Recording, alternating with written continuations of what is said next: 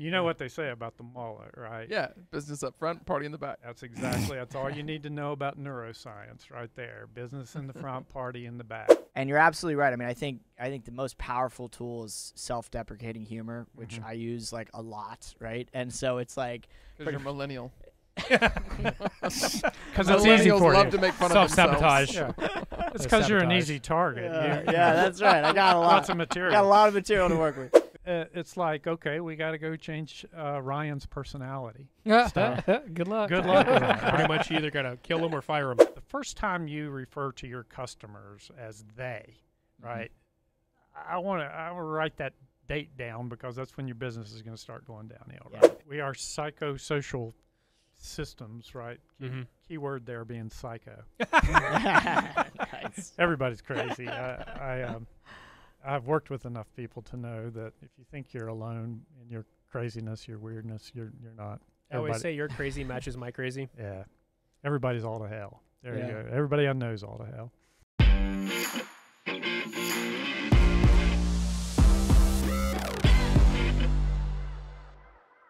Thanks everyone for coming to Think Fresh Move Forward podcast. Today we have Todd Bradberry today, our emotional intelligence expert.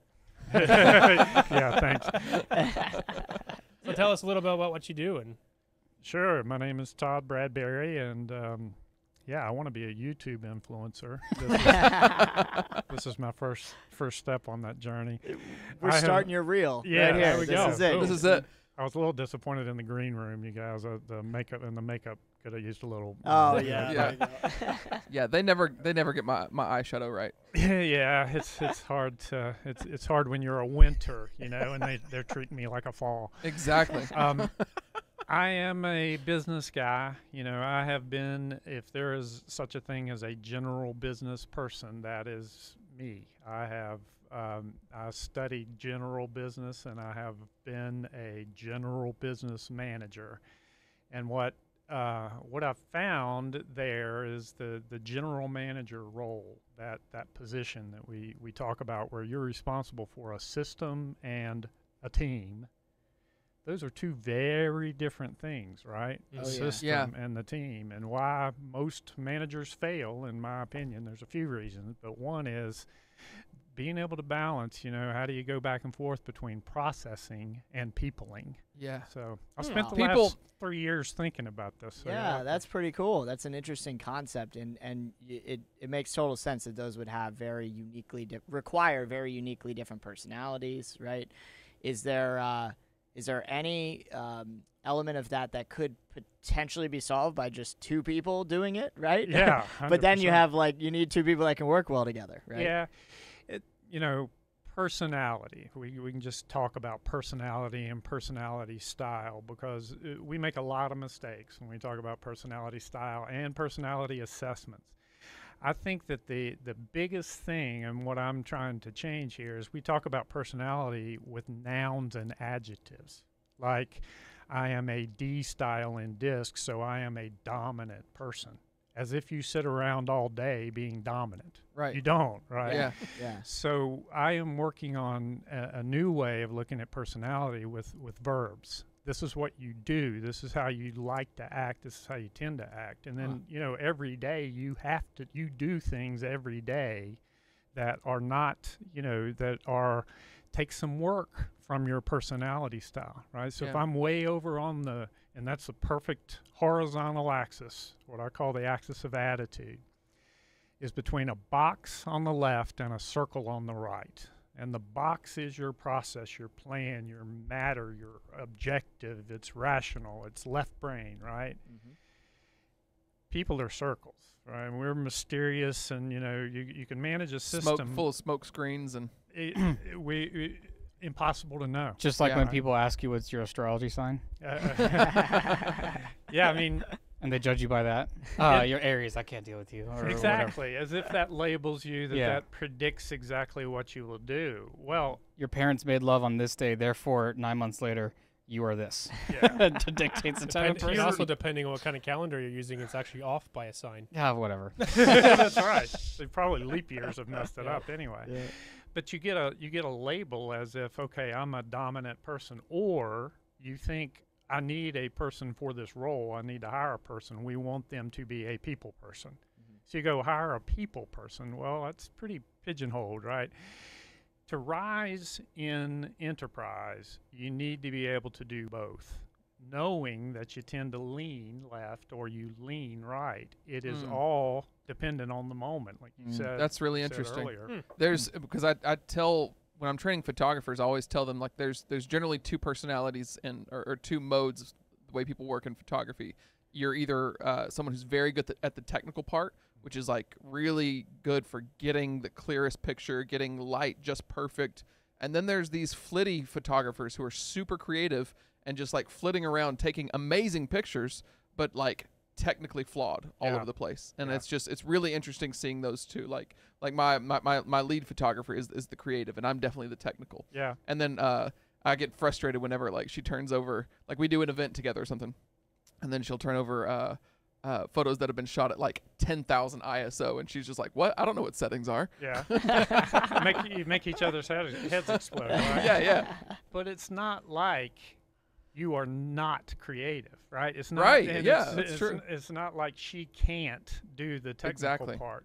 Mhm. So that's we call it work. Yeah. Doing what you don't feel like doing, and Yeah. it depends on the moment. And yeah, so don't don't. I even hear you saying, "I am the technical Right. type." Well, you're you're a human being. Yeah, you yeah. May, you may lean toward like that's the room you're most comfortable working in, but Yeah. don't don't use it as a permanent Right? as yeah. a permanent label. It's kind of the stories we tell ourselves, right? And Oh, you know, I wonder how many people, uh, you know, aren't good at math because somebody along the way said, "Oh, you're not very good at math," or they told themselves, "I'm not very good at math," and then it was a self fulfilling prophecy. A like- hundred percent. Well- math Yeah, is a great example because how do you get better at math? Practice. You do math. yeah, yeah. yeah. So how do you get better at peopling if you're a process person? You people, right? you just you just do it. You just stretch and you get better at it. Uh, uh, get better at it over time. And if you're if you're really good at it, you you uh, you know you're able to shift. There's uh, been a as- couple uh, psychological studies of what you were just talking about, like being bad at something. yeah. So there was a professor that took uh, half a student body and gave them each a test. One test was not passable. All the words was like, "Hey, create a word out of this." These letters like pear or apple or whatever. It's like, okay, I- I have all the easy words, and all these other students had just gibberish. yeah. and then they handed them a test. And the sig- there was a major significance in the performance of the ones that actually were able to do it versus the ones that weren't. Mm. So like telling like those affirmations, it actually plays a key part in performance. It's actually Yeah. really interesting how that works out. Yeah. Yeah, I've I've spent the better part of three years trying to learn how the brain works. You know how we why we do the stuff we we do, and I I want to be able to explain it because it's it's um it's not as complicated as you know it sounds. I I go with the mullet haircut to explain how your how your brain works, and I you, need to hear it. you know what they say about the mullet, right? Yeah, business up front, party in the back. That's exactly. That's all you need to know about neuroscience, right there. Business in the front, party in the back. So your your party in the back. That's your system one. If you put your hand on the back of your head, that's system one, and that's how we operate. That operates under the radar. That's our automatic transmission, right? That is just when you're doing things without thinking about them, brushing your teeth, right? That's system one because you're you, you do it and don't even remember that you did it. And it's good that we have that because it allows us to only focus on certain things on, with the business end on system two. System two is the slower thinking. It's where we take time to to mull it. So rather, uh, I, I want to try to write this in a cute way, but mull, M-U-L-L, to consider, to take time before you do something, versus a mullet, which when it, your reaction, your automatic reaction. So with personality assessments, you want to learn, you know, it's nothing, it's all of them are the same. It's about drawing lines between two words and putting the average person, the average um, imaginary normal person right in the middle and say, which side do you fall on, right?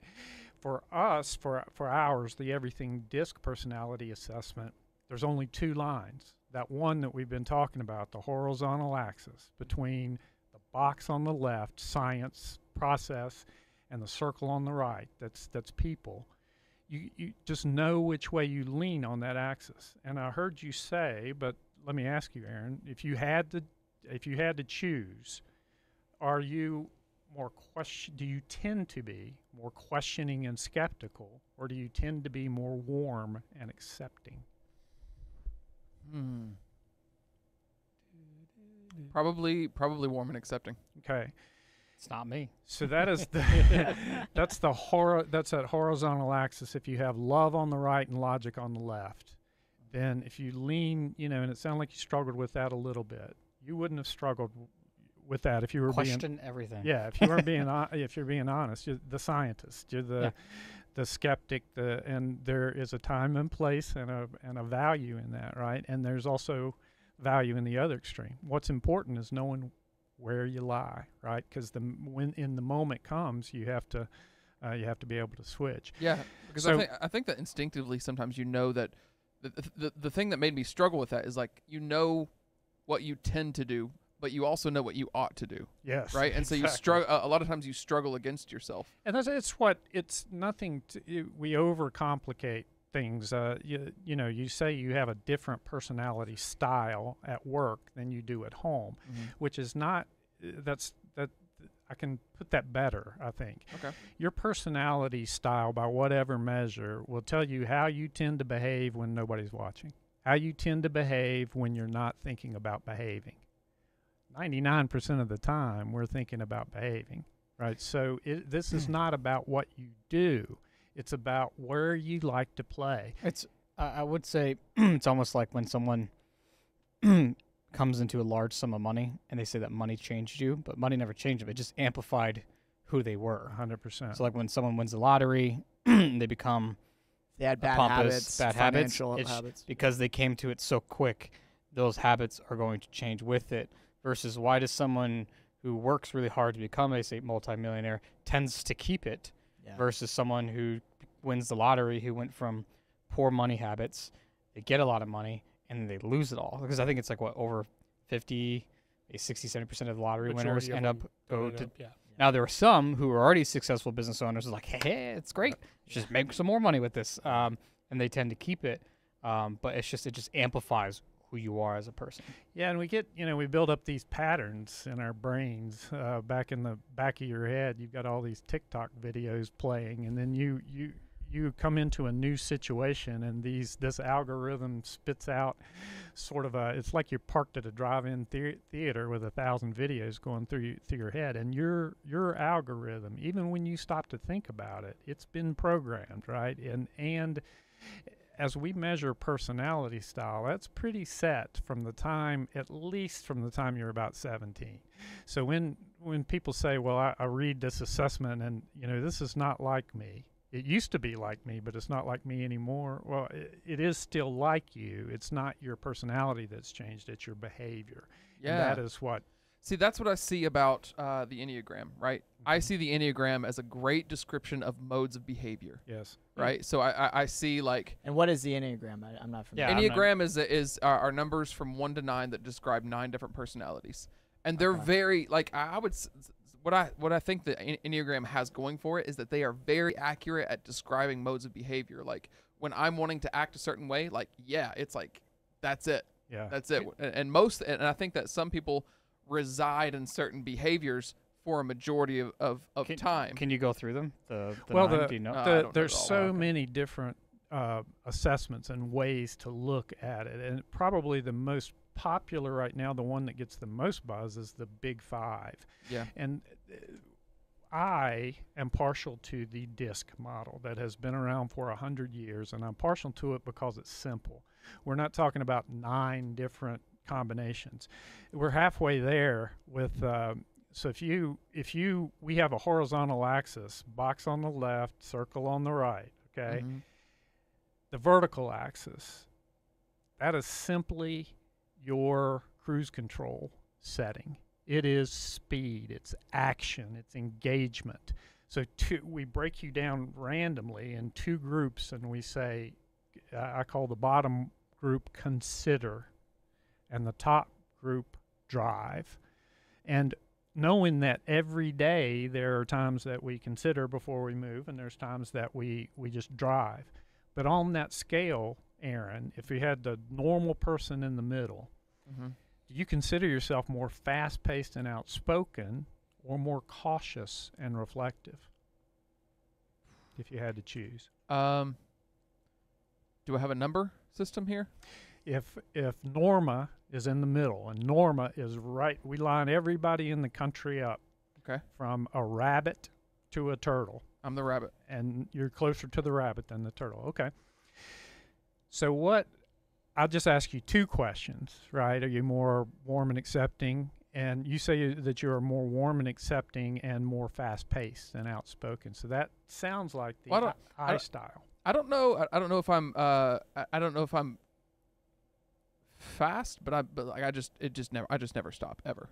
Yeah. Well, that would be Energy. it, It's right? about Yeah, go. just- It's about Yeah. you- Like- you like go. Like a bunny. Yeah, it's like you're it's like it's like the foot's on the pedal and it it, it, it don't even know where the brake is. Well, that that vertical axis there can we can there's a lot of things that run along that line and and and like your sense of agency right your sense of control over your own world is on that axis so if you're really high on that axis and i am off the chart i Mhm. am i am right at the top of that if you're if you're high on that you think you have total control and you uh, that is it's good and bad right because i will dart out into traffic too i will step in front of a bus I am great in a crisis, but you got to watch me. You got to watch a rabbit uh, because I'll take off, you know, 100 miles an hour in the wrong direction. Uh, yeah, yeah. I will spend a lot of energy doing unproductive things. yeah. Oh, me too. And yes, uh, but it's all about the motion, right? So that yeah.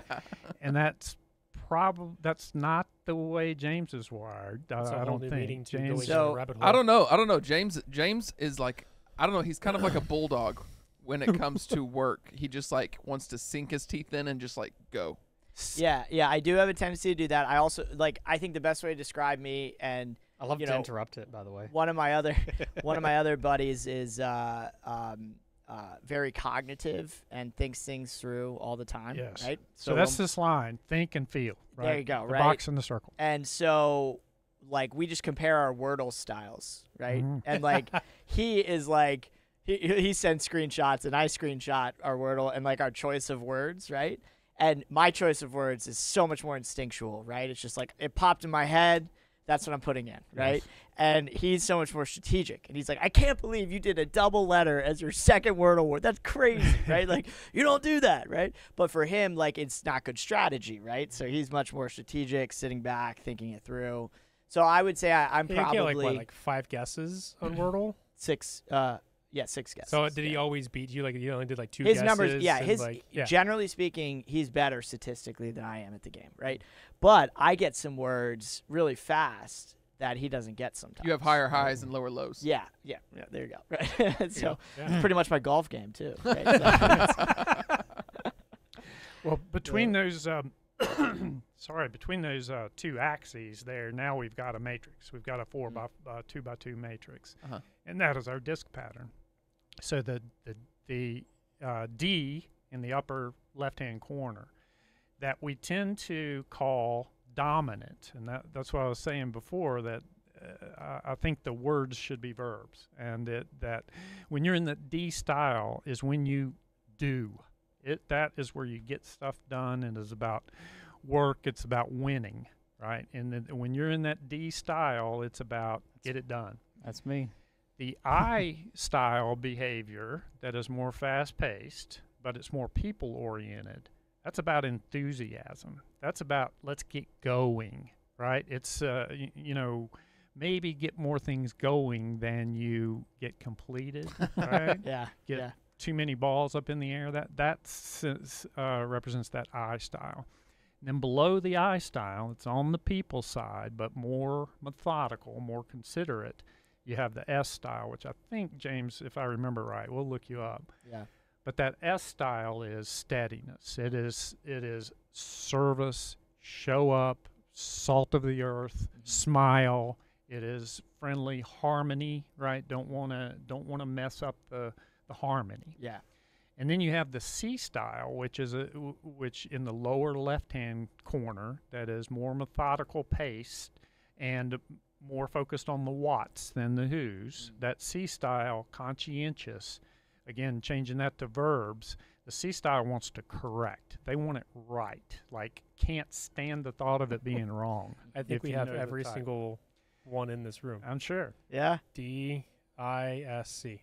That's that's that's a good that's a good guess, and I think you are probably close to the middle, Aaron. I, I feel um, because usually I can I can tell pretty well, and I have a hard time, little hard time judging you. I think you're close to the middle. So if you're at, you know in that center, is where we want to live when we're when when we have the need to take the time to think about what we're going to do next. Mm-hmm. We need to be able to move toward that center. Recognize that hey, I'm way over here, tend to be way over here on the process side it's a time to people now and and that's the beauty of the timeout call timeout and you know so yeah verbs it's about what we do it's about what you do and say it's not I- I can't know what you think and feel. I can o- only uh, know what you do. Uh, we s- we see what you than do and say. Yeah. Well, yeah, and, I, and I think that's also a powerful statement too. that um, because people have a tendency to sometimes use it as a crutch, right? Use right. their personality as or a as an crutch. excuse. Yeah. Yeah, it's like, oh well, I'm not capable of that, right? Yes. Because it, just because you're stronger at one thing doesn't mean you're incapable of doing something else. It means you have to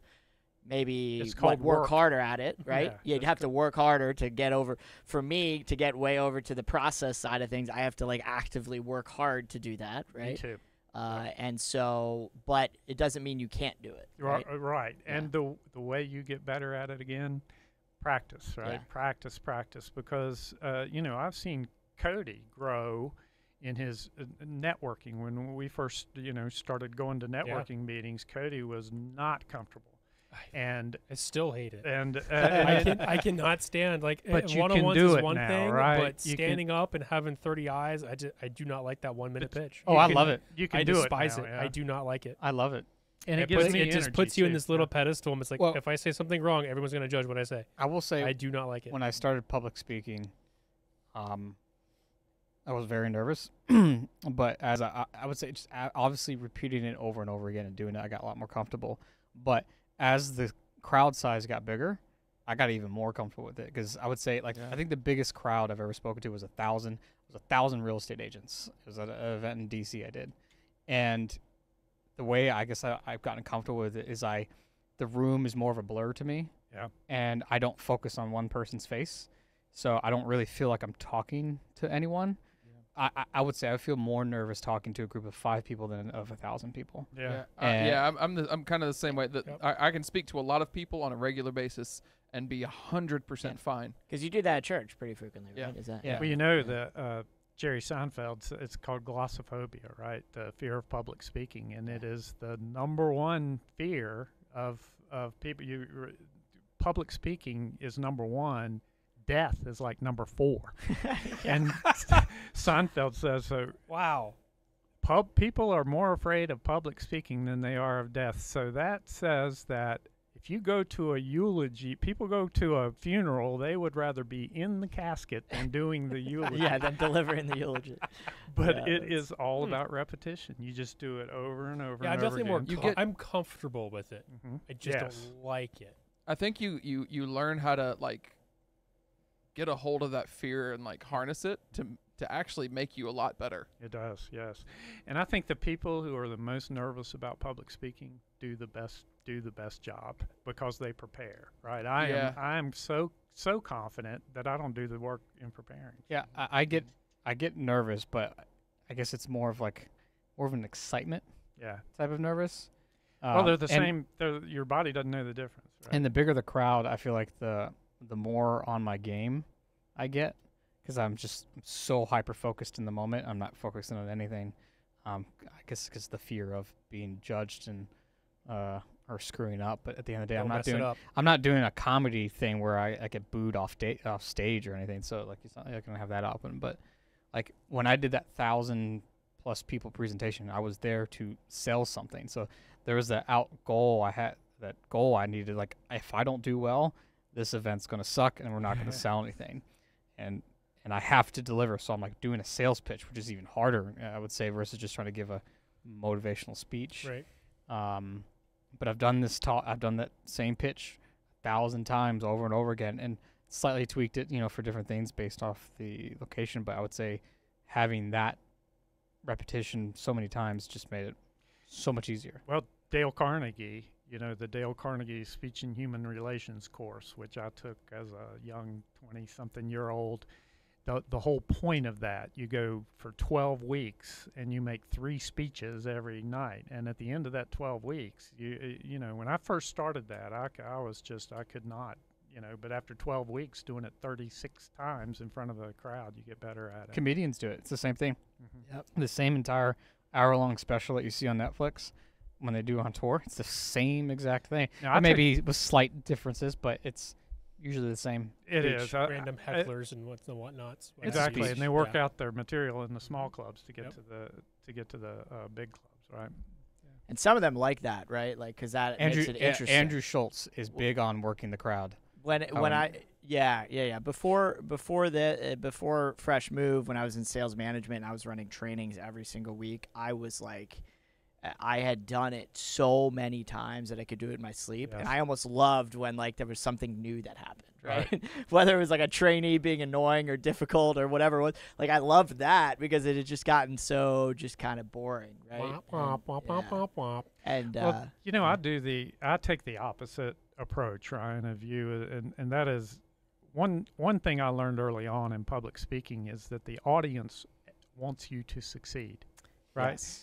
Yes, And they so- They're there for a show. and they'll laugh at stuff that's not funny. Uh, yes. Yeah. So I always I look up and I find the the S style friendly face in the crowd who I can tell is supporting me. nodding along Yes. right Yeah, and I want to talk to that person, and you know, for especially like I, I will find in the crowd who's my who's my friendly face, and I'll go back. It's go funny. to I do the exact same thing, right? It's usually a couple key people that you look around in the room and and you're absolutely right. I mean, I think I think the most powerful tool is self-deprecating humor, which Mhm. I use like a lot, right? And so it's like Because you're millennial. because it's easy Millennials for love you. to make fun Self of themselves. sabotage. Yeah. it's because you're an easy target. yeah, You- yeah, that's right. I got a lot. lots of I material. got a lot of material to work with.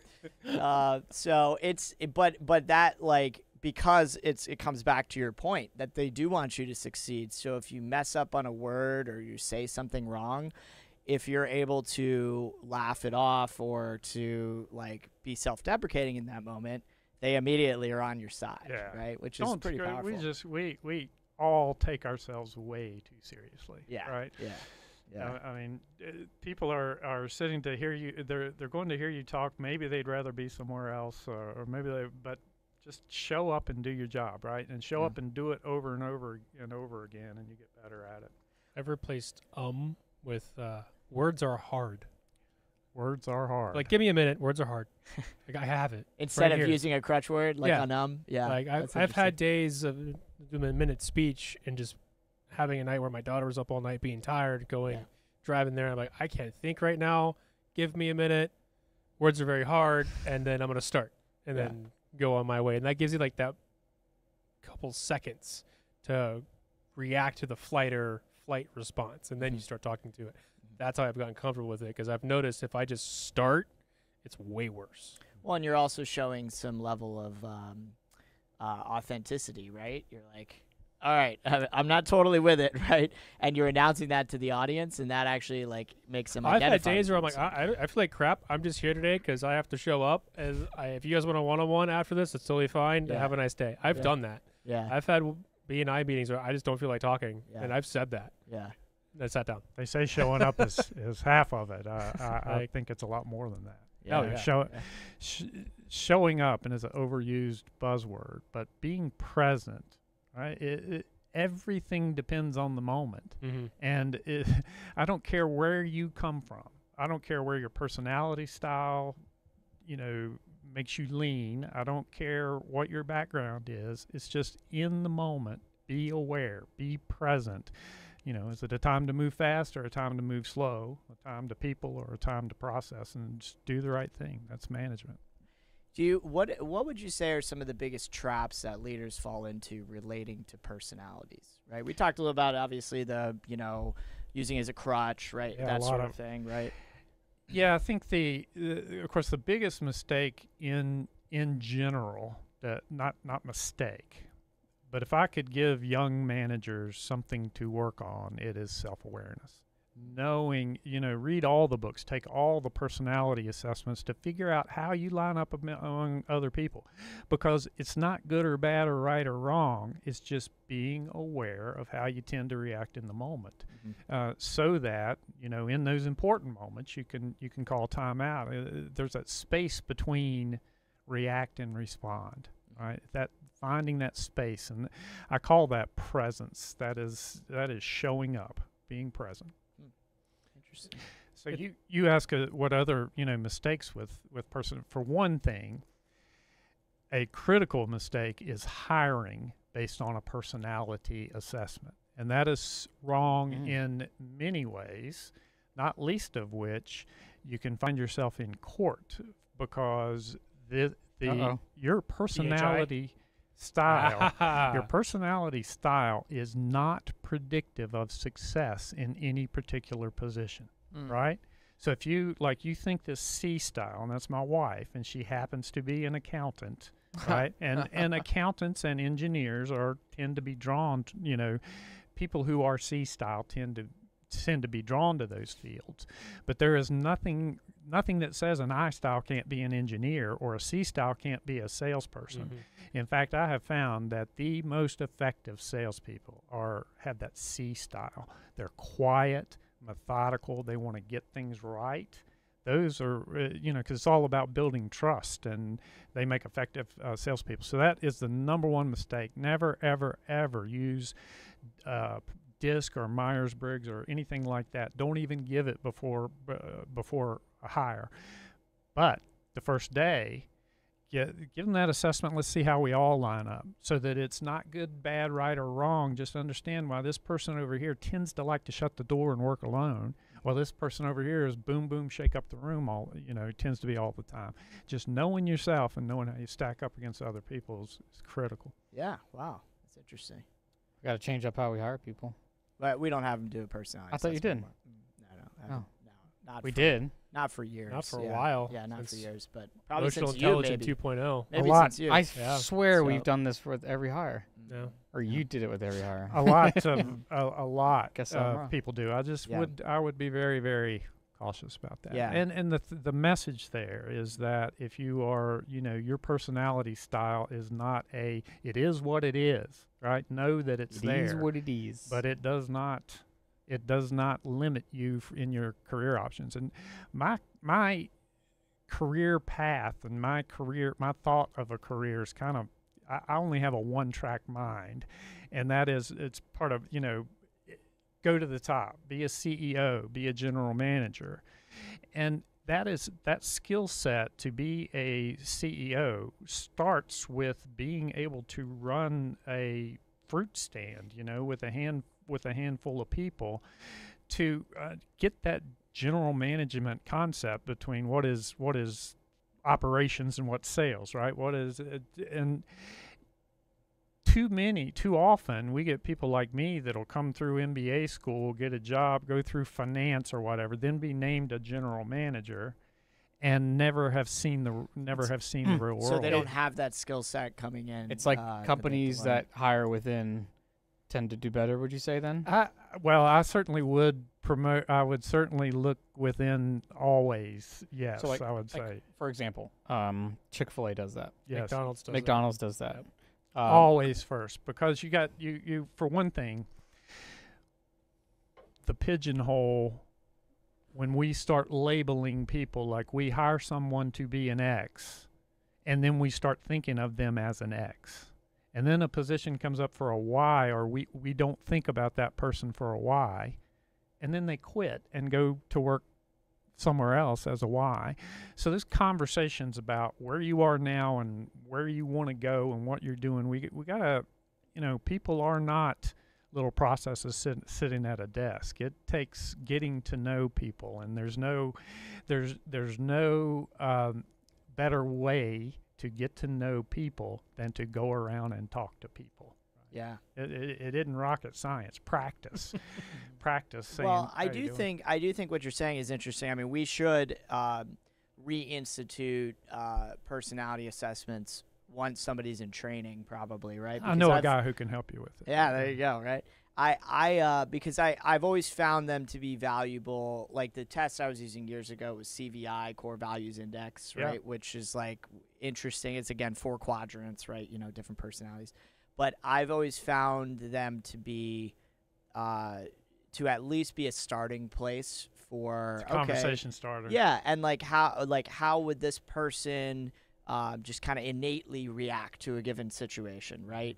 Whether they are mature or immature will obviously impact like whether they're able to move, like we were talking about Yeah. from here. I, I I think that's probably like you know the book I was just reading, which uh, which is actually similar to uh, uh, what we talked about um, earlier with using foul language, right? Yes. Which is uh, uh, uh, everything is effed, right? Yes. Is what it is, and uh, Love and, that book. Yeah, and it's it's it's very fantastic. But one of the things he was talking That's the about, second book too. yeah, uh, the, subtle, art of not giving Yes. enough, right? Yes. Um, so what I what I liked about it though, which was kind of a um, you know moved my thinking a little bit, was the idea of people moving from childhood to adolescence to adult righthood, and the maturity factor then factoring into their ability to impact their actions on a daily basis, it, it, like uh, separate from their personality, right? Yes. meaning like not just innately act on whatever they're like kind of predisposed to do to make a conscious decision to say oh this is uncomfortable but i'm going to do it anyways Yes. Right.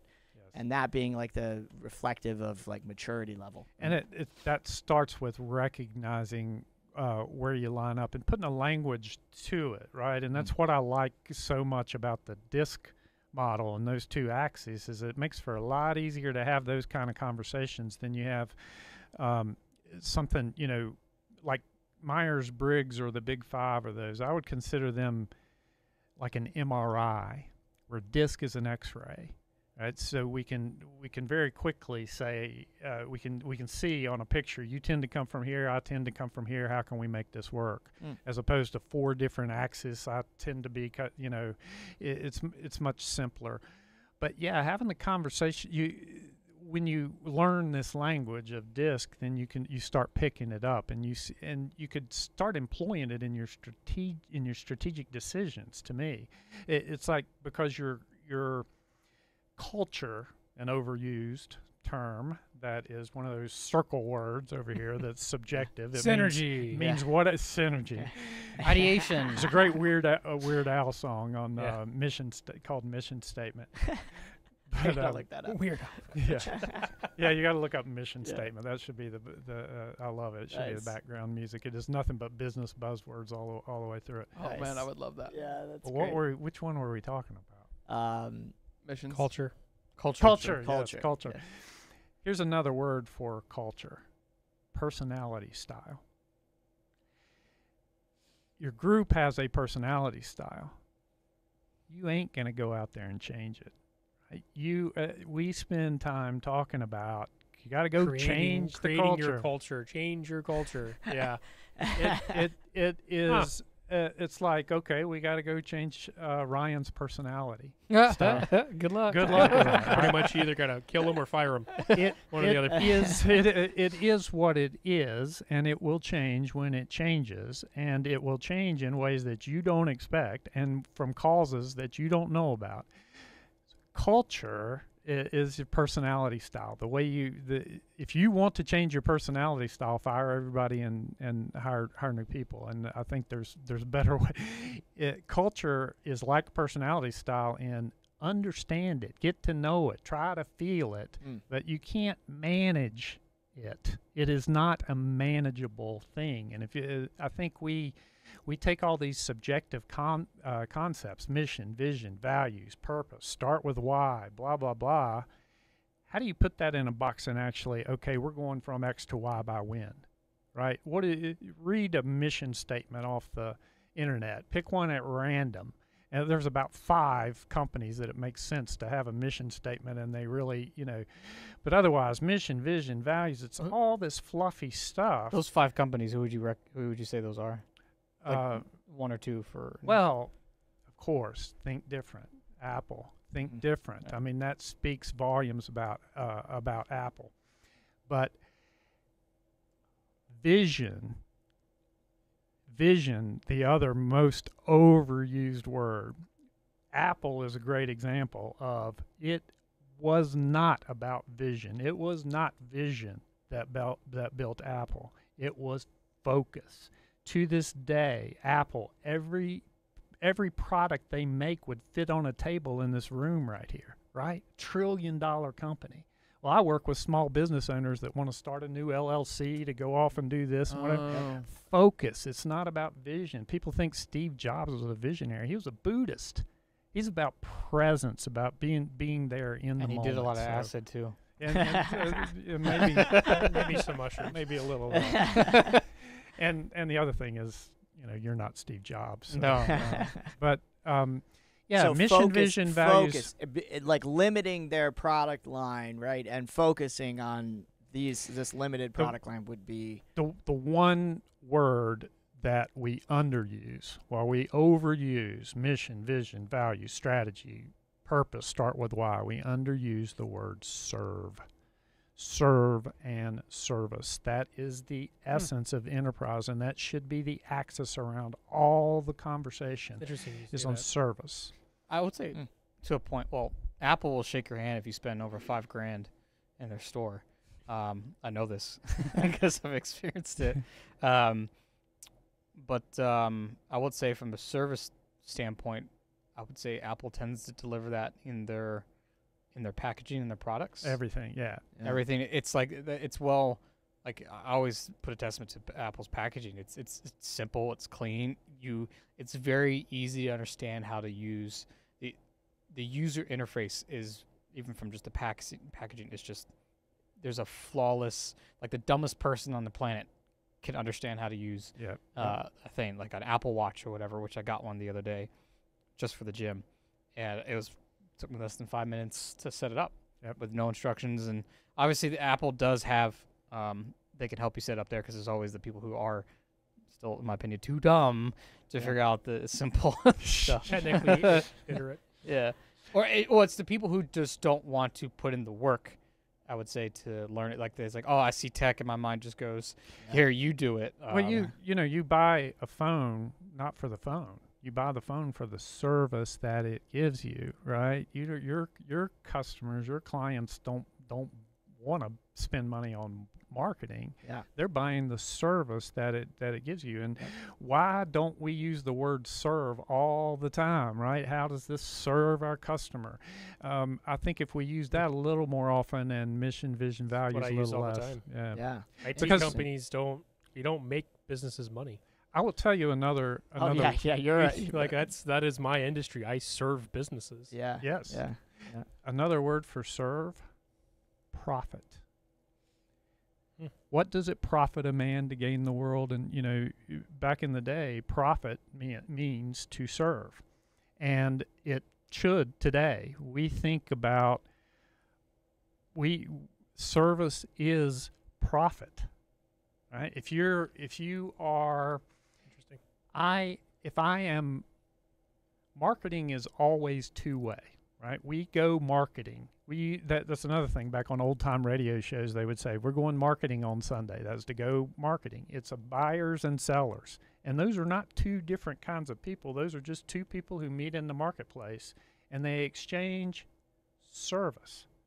So when the buyer gets a product, they have profited. If they have made that decision that that product is worth my is is not only worth the five dollars I'm going to give to it, but it's worth more than five dollars, right? Or I wouldn't pay five dollars for it. It's Yep. worth more than five dollars to me. We don't know what the profit is that Mhm. that buyer gets. We don't know and can't know. Quantify it. Right. Yeah. I- and Hmm. our our goal when we sell is to pr- profit the customer as much as possible and profit ourselves. And you make that exchange. There's profit and loss from both sides. If you look at the, you know, you look at the accounting from one side to the other. It's just, it's it's just a trade. It is people serving each other. And let's Huh. talk about that. and Not Wow. not That's a different perspective. Yeah, that's a powerful that's- concept. I I haven't like thought that. about that. Yeah. there's profit and loss in everything, right? Profit. We don't call it a profit or loss statement.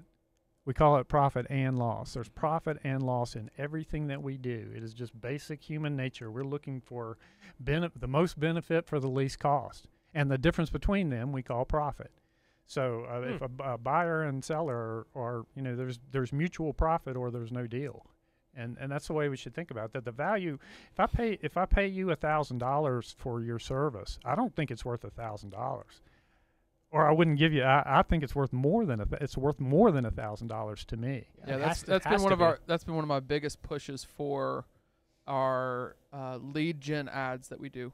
Right. Yes. Uh, and so my my whole goal is to be worth way more money than someone would spend on us. Yeah, A hundred percent. Because if you want you, you you want to be more profitable, you provide more profit. You profit your customers more, Because people you become more. people stop looking at you like you're a price tag, right. and people start looking at you like a little money pit. Yeah, well, you're you're solving problems, uh, you know, pains, all the different Yeah, ways we have to you're say providing more value.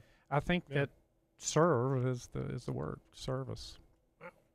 That's and cool. um, yeah. and it also Yeah. it also makes you uh, that that that that focus makes you less one dimensional right because you're you're you're you're you're more about a goal and more about accomplishing something than you are about just like I want to work this way do and do exactly this and get out. yeah, I want to do what's easiest for me. You're no It's longer thinking I want to do what's easiest for me. You're thinking it's- what's going to move the exactly. If you think of a new person that comes to work in a in a factory or comes to work at McDonald's, right? If they and their job is to serve, to serve the owner of that McDonald's, to serve the customers uh, uh, there. I tell you, if you sh- just show up for a week, you you know start at uh, ten bucks an hour, and you show up for a week, you might get eleven just for showing up, and if you smile, you might get twelve. But if we think about if we talk to that person who goes to work at McDonald's and say, "You want to make more money? Give more service. Give better service." And I, I think it's just the way we should uh, we should approach everything. It it takes the because the other way to look at it is it's all a fight. It's all competition. We got to fight, fight, fight. It's a war, and uh, you think of your words like strategy and target Well, marketing and on and on. Yeah. What- Or we could just serve each other. We can show up and serve each other, and whoever serves best wins. It's a game. In that instance, what would you recommend to say? Um, I, I'll give an example. Um, I had a buddy of mine who worked um, at CarMax on the corporate side, um, more IT developer coding type stuff. He found a twenty-three million dollar error. Um, it was just it was a thing that was just wasn't it was missed, and if it kept going, it would have continued to lost, lost money, and he fixed it, and it saved the company twenty three million dollars. All he got was a thank you, Yeah, and he rough. went he went above and beyond and went down the rabbit hole, as it were, to find it and then fix the problem, and then showcase, hey, I found this. That's what he's paid to do. I would No. and that's I, I it, it wasn't. So So he- wasn't a developer. Uh, it it was, but it, it's like it wasn't technically his job. But he just noticed something. It's like like oh, that's technically not my department, and he could have just passed it off to anyone in the department head. But if it's something that's that big and it's not been noticed for a so long y- so he went over Yeah. and beyond and he went in above, doing above like so. But in that but instance, let's, let's he think of it- quit uh, but- two weeks later. Yeah, and and that, I wonder that- why. It's, Yeah. yeah, it's a it's a management failure for sure. But if you, on the other hand, if you think about your balance sheet, right? Your balance sheet for your company is the sort of the status of where where you are today. It's sort of what's what it's it's these are the assets. This is what I own and what I owe. When you have done something like that, like I've saved a company twenty three million dollars if they don't appreciate that at the company you work for now, they will at the next company that you that you work for. So that's why we got to have this this that that conversation, right? Um, yeah, because service by definition has to be selfless. You can't be you you you can't engage by thinking about the outcome. You have to be thinking about the service, and that's where your process mentality comes in, right? This is our process for, Yeah. for giving service. Yeah, if that was everything will revolve around it. if that was his job, if your company's having twenty three million dollar pitfalls everywhere, I think you have a, a bigger problem. Oh, absolutely. but- yeah. Um, what what would you say then to the people who have managers that are like that, to where they just don't recognize the talent or the massive win that this person just had. It's like, cool, thanks. Yeah, I don't know. we- we- I mean, we- had- we Well, talk- Well, you because you talked about that like um like the earlier before the podcast, like lords and peasants and yeah. this whole um certain management system where some people just get like this authoritative uh, complex and Yeah, I do hate what to you're told. it, it is we have a real problem with white collar arrogance white Uh, collar arrogance Mm. we talk about it and think about our words again that we use we tend to use as if they're friendly words like en- engage you know we want the empl- employees engagement all these all these Quantifiers. yeah and we don't we don't just show up and and and talk to people so We do pizza parties for our employees, and that's that's how we reward them. and you know different different people are motivated by different things Yeah, which is yeah. another mistake we make is that because i would be really in, in that situation if i saved the company money i'd want my face plastered all over the uh, you know the the newsletters and everything there, you probably wouldn't right uh, it, it's it's uh, that's a personality did- thing I corrected what was wrong. Yeah I you would did I made it right. yeah. I, I would Yeah. say You'd probably want to be monetarily, maybe get a bonus. I, right? I would. I think you- a you- hundred I wouldn't bucks. know. I think a I couple wouldn't I want a certain percentage of that 23 million to just saved you. I did. I fixed what was wrong. That's Yeah. all that matters. Is that something was broken and I fixed it. and Yeah. there's I could care less. something to be said for showing up and doing your Like- job and doing it well but like- like- if you don't do it if you don't take if you if you show up and you give service and your your your value when you showed up at McDonald's was twelve dollars an hour and you keep giving that good service, your value is going to go up within McDonald's. And if it does not, you go somewhere else, right? Yeah. It's it's the that's the kind of honest conversations we ought to be having with people. We still act like people show up and spend 30 years at a place and get the gold watch yeah, and we still tri- we still act like there's management up here and there's labor down here. Well, I don't know a manager who doesn't work, and I don't know a worker who doesn't manage, and we all serve. If we could just, Huh. you know, we're Yeah. all people and we're all So, serving. like the movie Office Space when they found that rounding error. Yeah, it's seven. yeah, Yeah. yeah. Uh, and they're like it's just pennies. And it's just gonna be a little bit, and it ends up being what The, 600 the, some the banner, 50,000. they bring in the consultants, and the banner says, So with every decision you make, ask yourself, is this good for the company? so a recent prospect that I've just had, um, they go down to the seventh decimal point for counting because they do everything uh, by weight. So Uh-huh. aluminum, right? They Mm. weigh everything by aluminum, and it's it's the tolerances It's- have to be so it's tight. pennies. Yeah. But when you're dealing with tons and tons of metal, it's millions of Yeah. dollars. Yeah. I was like, you go how far down? It's like point zero zero zero zero zero zero zero one. Uh, It is Yeah. wild. It's it's Yeah. like that when doing manufacturing overseas. Um, they the C the country with the C because I'm trying to avoid saying that Mm. word. Um, every time I hit, just I say that word, I think of Trump saying it. So you know exactly what country I'm talking about.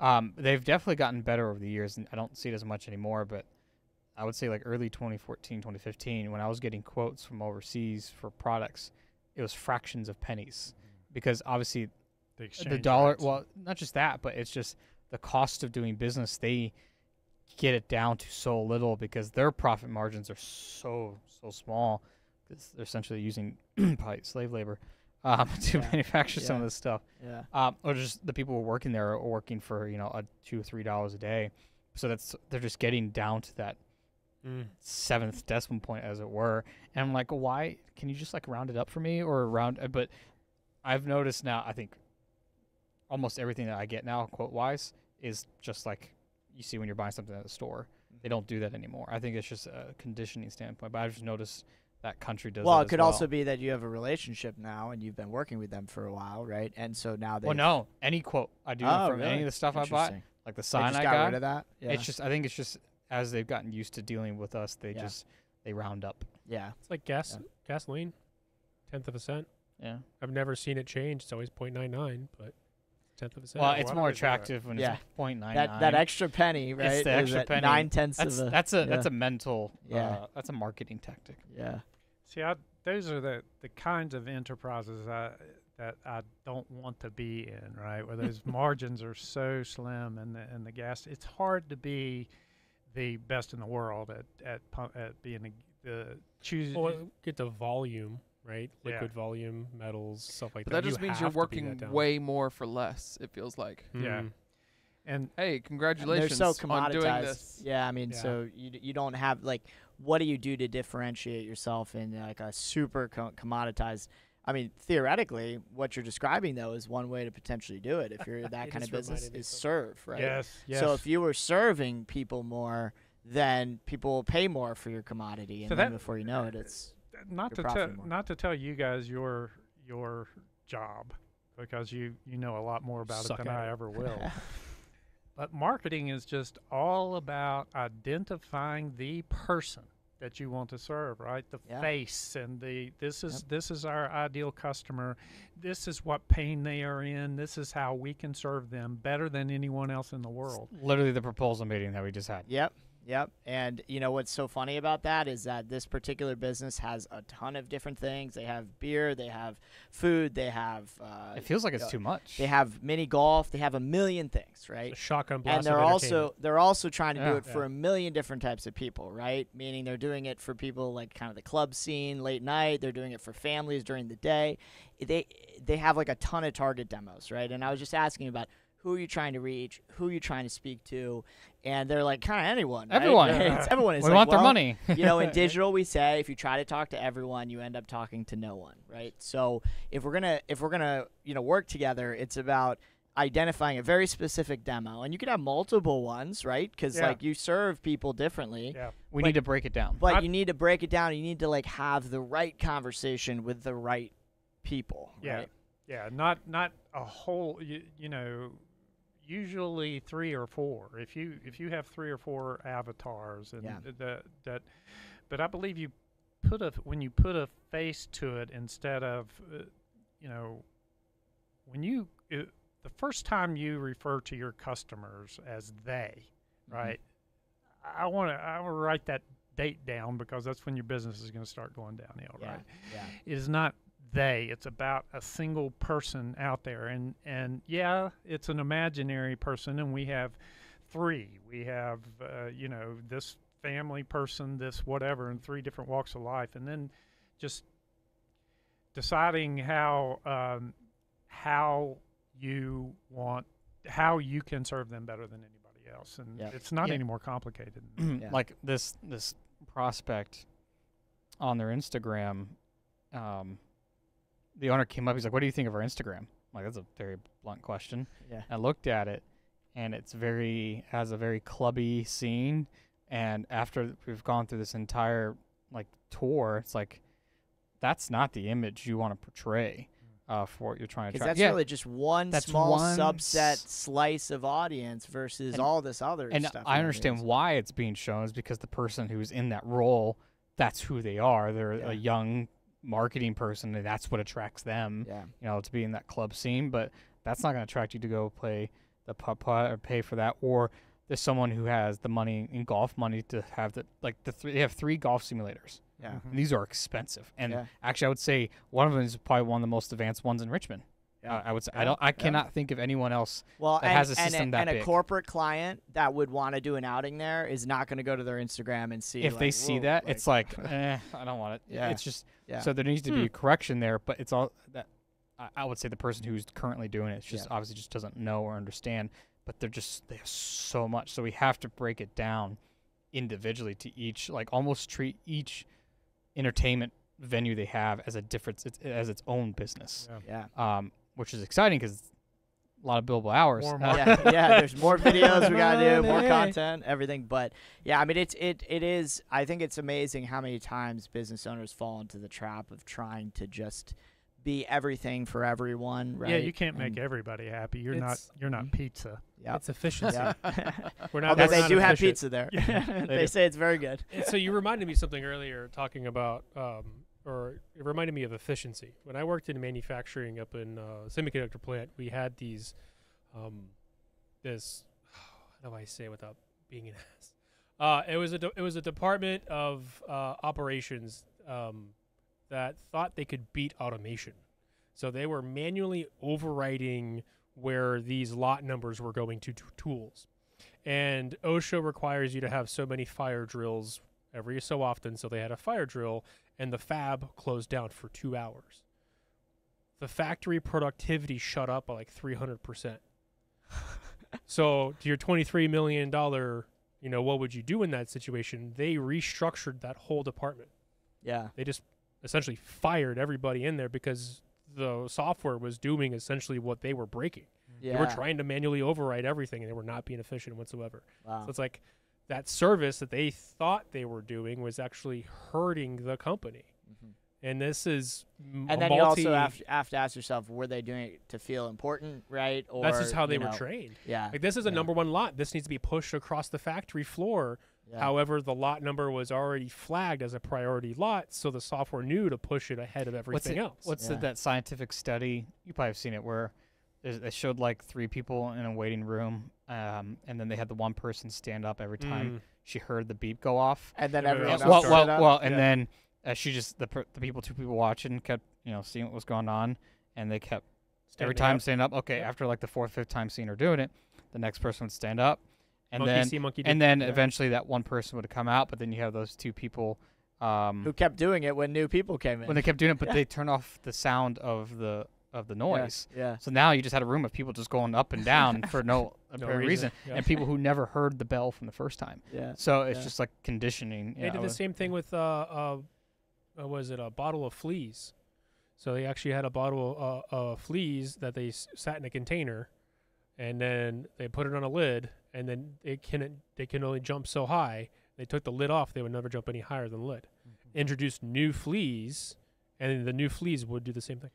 Yeah, you can tie an elephant's leg to a stake To in the stake, ground. yeah. right? Yep, at, at birth, and then they'll know how better how big they will. They won't pull against it. Yep. It's it's astonishing. There's a uh, it's called the blue dot effect. Um, they did a study of uh, people to on a screen find the blue dot, and then as time went on, the dot got less and less and less, and eventually there was no blue dot, and people were still finding the blue dot. Yeah. Yeah, Yeah. there's always a problem to be found. Yep. It's wild. We are uh, we are psychosocial systems, right? Key, Mm-hmm. Keyword there being psycho. nice. Everybody's crazy. I, I um, I've worked with enough people to know that if you think you're alone in your craziness, your weirdness, you're you're not. I always say your crazy matches my crazy. Yeah, everybody's all to hell. There Yeah. you go. Everybody I know is all to hell. Um, what else you guys want to talk about?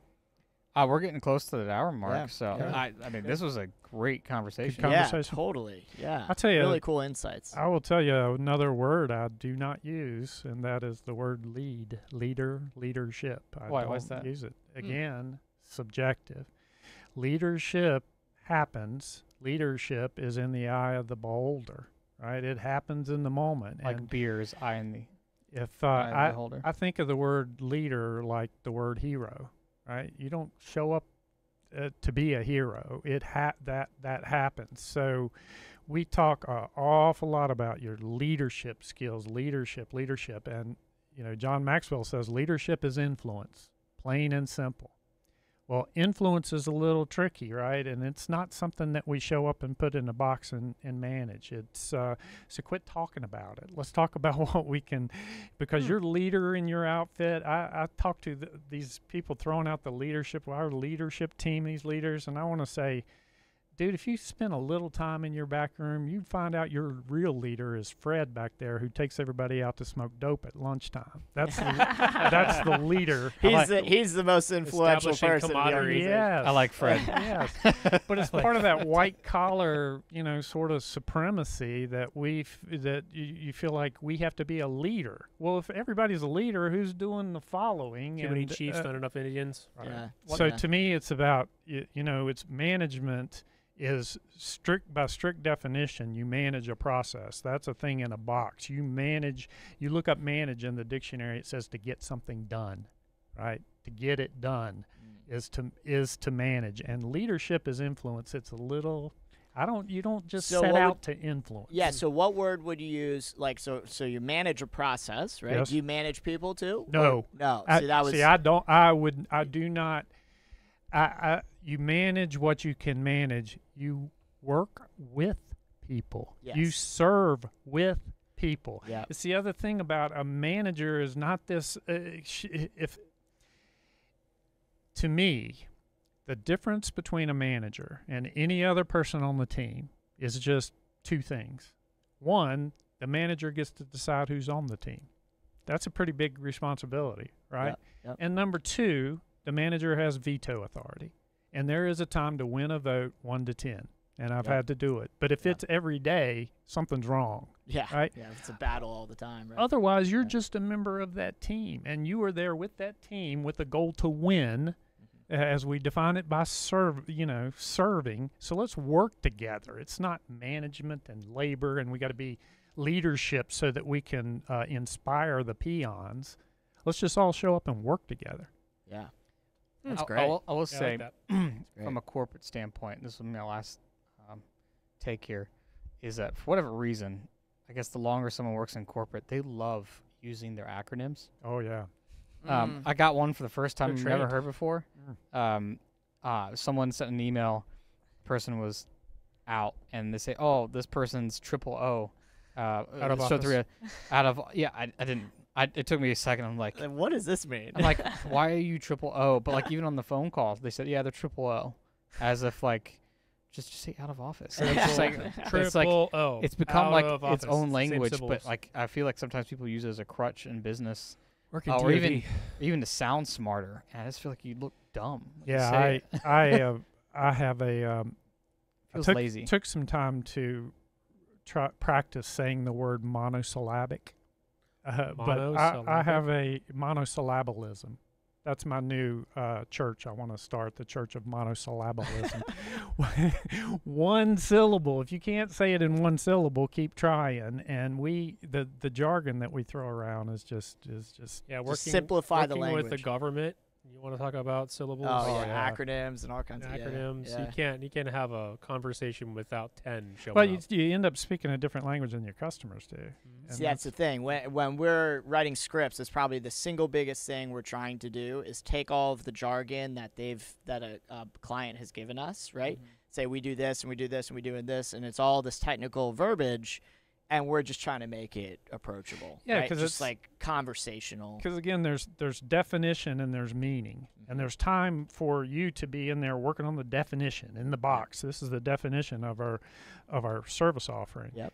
your customer doesn't care about the definition they want to know what it means to them Yeah. what is the meaning of this to them so Yeah, yeah, that's great. yeah well we solved a few of the world's problems We today I think did. so. You know what? It's If they too just, bad, they it's just want to listen. If they just Yeah. would listen to They our just podcast, that's right the world would be fixed. There'd be no more the answer problems. to the world is 42. Just listen. yeah.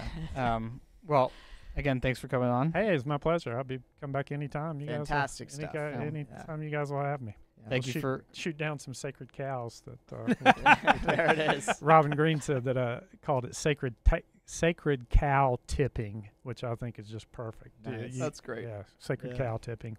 Love it. Um, thank you for tuning into the Think Fresh Move Forward podcast. See you next week.